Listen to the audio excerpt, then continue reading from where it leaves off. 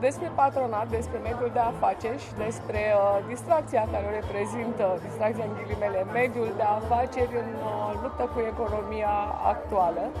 Stăm de vorbă cu Nicoleta Munteanu, membru fondator, cred că ăsta este cel mai important lucru, membru fondator în uh, patronatul femeilor de afaceri. Hai să ne spui cum a venit uh, ideea înființării unui, înființării patronat. unui patronat al femeilor de afaceri. Pentru că este foarte important dacă există simbioză, dacă este exclusivist, patronatul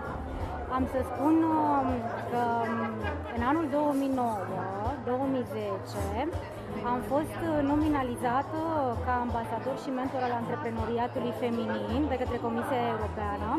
Am făcut parte dintr-un uh, cerc select de 14 ambasadori din România și 250 de ambasadori din uh, Uniunea Europeană. Pentru mine a fost o nouă revoluție, aș putea spune, pentru că atunci am înțeles ce înseamnă să privești femeia antreprenor cu ochii Europei. Faptul că noi ne-am întâlnit atunci, la vremea respectivă,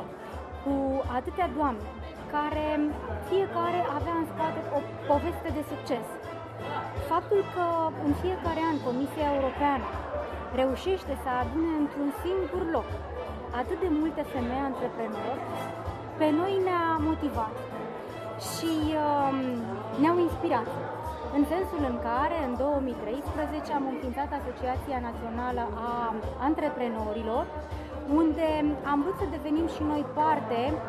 și o voce a celor care reprezintă interesele antreprenorilor și în mod special interesele femeilor, interesele femeilor antreprenori. Atunci a fost un moment foarte interesant pentru că am învățat ce înseamnă voluntariatul la un alt nivel și implicarea noastră s-a concentrat în tot felul de parteneriate și proiecte uh, care au avut la bază voluntariatul, uh, acolo unde am reușit să împărtășim din propria noastră experiență cu mai multe femei antreprenori, am identificat o parte din nevoile și provocările cu care se confruntă femeia antreprenor și atunci am înțeles că efortul nostru trebuie să fie un pic mai mare, să fie un pic mai mult, pentru că dacă vrem să dăm comunității înapoi, trebuie să investim mai mult. Și atunci, împreună cu celelalte doamne antreprenori, și aici știi foarte bine că vorbesc despre Cristina, despre doamna Gheorghicesei, despre Liliana, um, am, um, am înțeles că trebuie să facem un pic mai mult ca lucrurile să se schimbe. Așa am înființat Patronatul Femeilor Antreprenori. A fost prima, prima mișcare mai mare și imediat patronatele s-au unit, s-au transformat într-o federație și mai multe federații s-au adunat și au transformat Confederația Națională pentru Antreprenoriatul Feminin de astăzi, care își propune nu numai să reprezinte și să apere drepturile femeilor antreprenori, ci și să includă alături de doamne pe toți susținătorii antreprenoriatului feminin, în mod special și al antreprenoriatului în general. Înainte de a te întreba ce înseamnă pentru tine personal, pentru tine personal această gală, acest eveniment, faptul că ați realizat atâtea lucruri, aș vrea să insiști asupra unui sintagmă pe care ai folosit-o, să dăm comunității înapoi. Uh, nu știu câtă, câtă educație este în acest moment în uh, rândul antreprenorilor în România pe această temă și nici cât timp au ei sau cât, uh, câtă limită în fața stresului cu care se confruntă oamenii de afaceri, așa se zice, deși nu par stresate deloc, par floritoare. În, în 2010, când am început acest periplu minunat în lumea antreprenoriatului ca ambasador, adică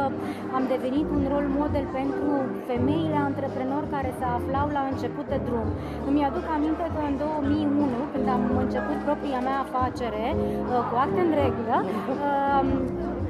nu am avut modele inspiraționale. Mi-aș fi dorit să citesc mai mult despre femeile antreprenor, aș fi dorit să găsesc mai multe informații despre uh, problemele cu care se confruntă femeilor antre- femeile antreprenor, pentru că știi și tu foarte bine cât de greu este să reușești să pui pe, și să clădești o afacere solidă, care să crească o solidă o afacere care crește în timp, dacă nu ai parteneri de încredere. Ori din punctul meu de vedere și susținerea bărbaților este foarte importantă în, în toată această chestiune, însă um, rolul nostru de a inspira din punct de vedere personal, pe mine una mă motivează și când am spus că trebuie să dăm comunității înapoi,